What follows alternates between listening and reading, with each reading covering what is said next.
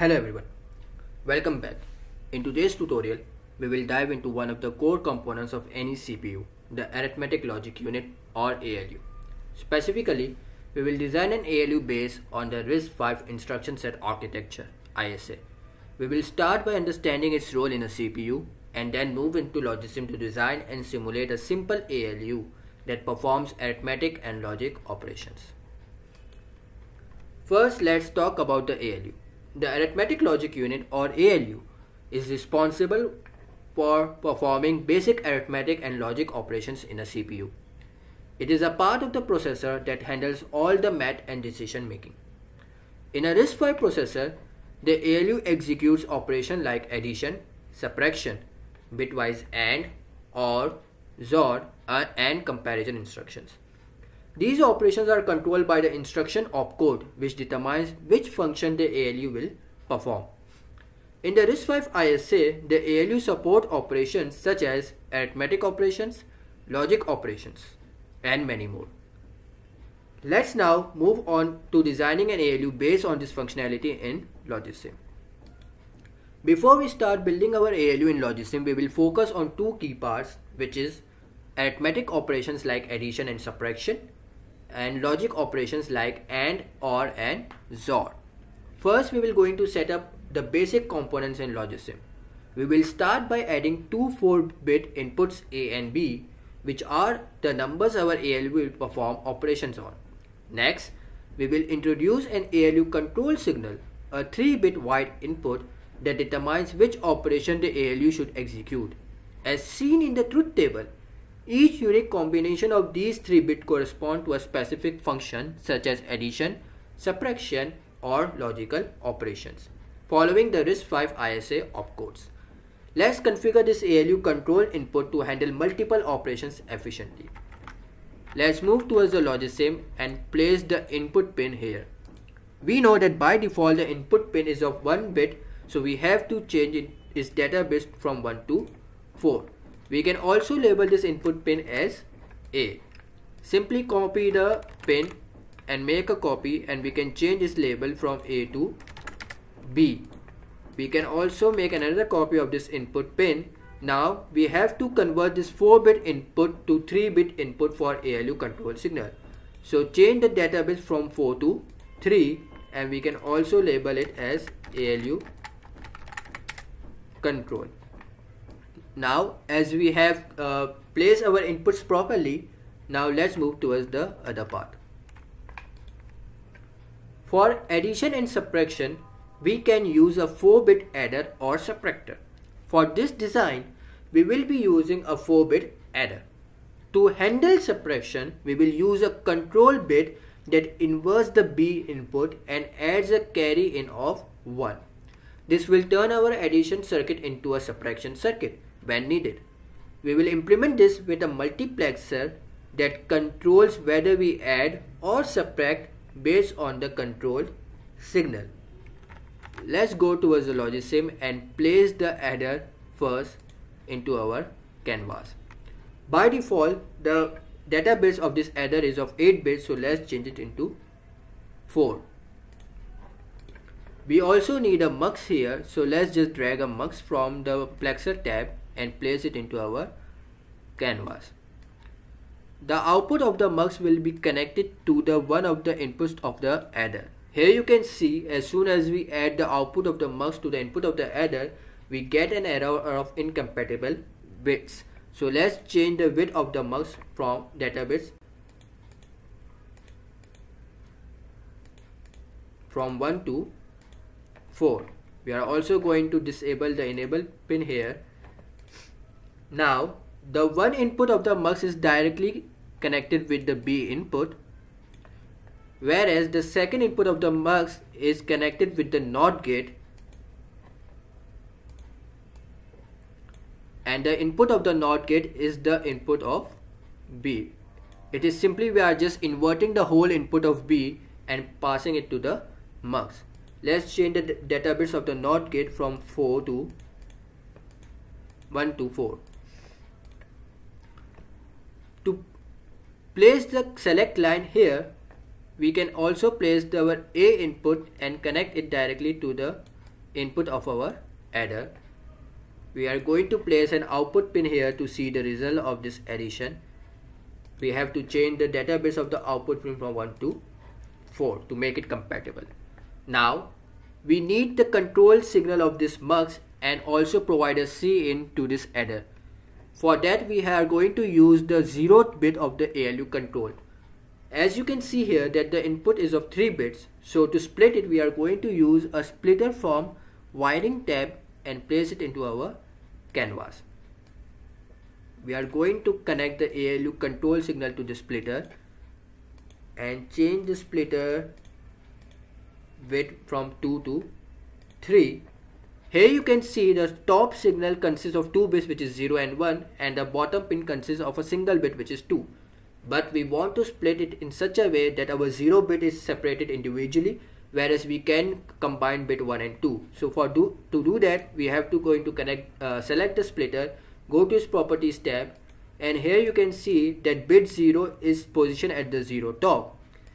And bit 1 is also positioned at 0 top. So we have to change it from 0 top to 1 bottom now you can see the splitter values have been changed the 0 bit is got individual and whereas we got a combination of bit 1 and 2 so let's just connect this 0 bit to the mux input and also to our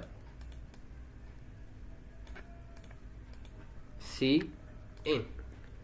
This completes our adder and subtractor circuit.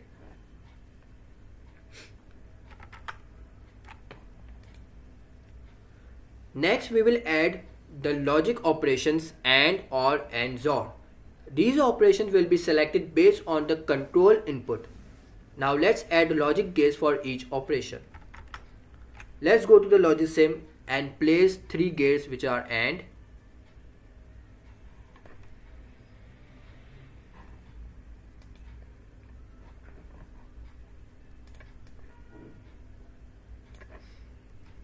OR and XOR first I am going to change all of these uh, gates data bits from 1 to 4 and we are going to change the number of inputs from 5 to 2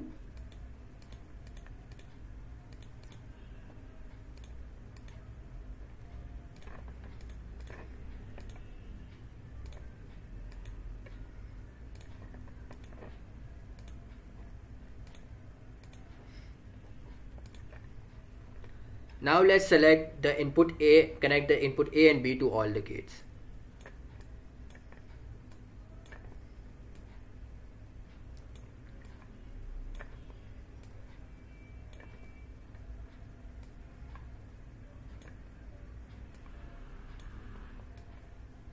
I am also going to connect an output pin to each gate so we can see their output as well.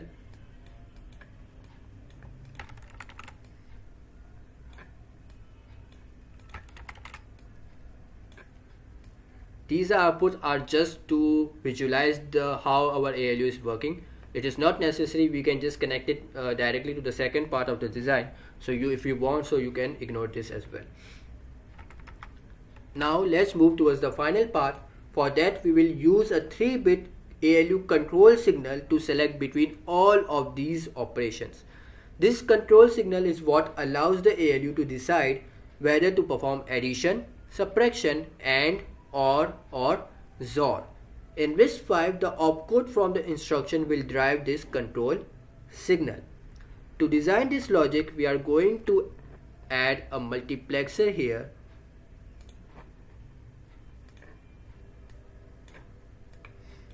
First, let's change this data bit from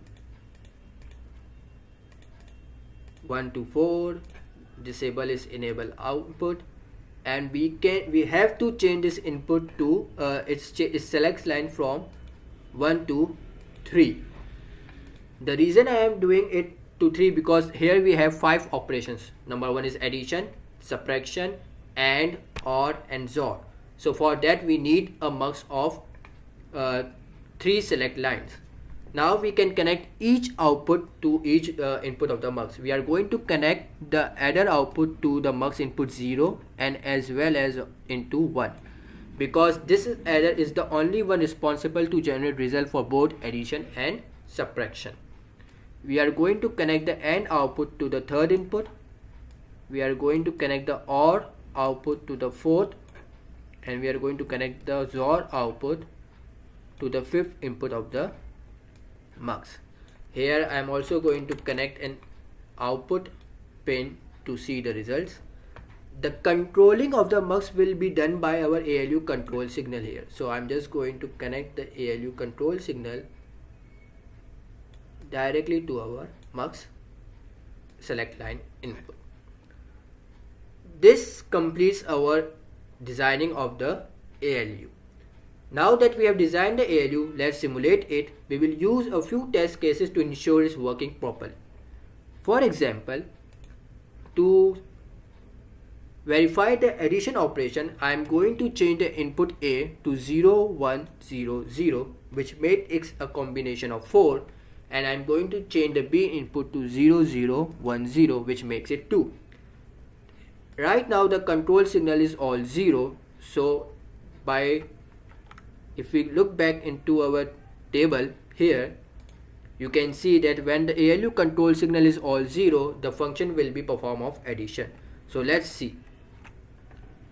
2 plus 4 will make the answer of 6 you can see here the output of the adder is 6 and the mux is also providing an answer of 6 now to verify the subtraction let's change our input A to 2 and input B to 4 now I am going to change the ALU control signal to 001. Here you can see the output of the uh, adder is something else because it's subtracting uh, A from B. And the mux is also uh, showing the result of our subtraction, right? Now for logic operation we can test the AND and OR and XOR with different combinations of input. Let's change our input A to 1010 and B to 0110. Here you can see by default that all the gates is performing their operation but we are not seeing their output on the result side. For that we have to change our control signal. As we know that our control signal 010 plays an output of the AND gate to the mux output. If I change this to 011 it will going to show the output of the OR gate at the mux output side. Now if I change it to 100 so I am going I am having the output of the XOR gate at the mux output and there you have it.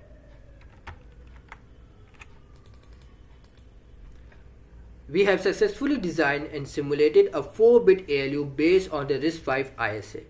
This ALU can perform addition, subtraction and basic logic operations like AND, OR and XOR.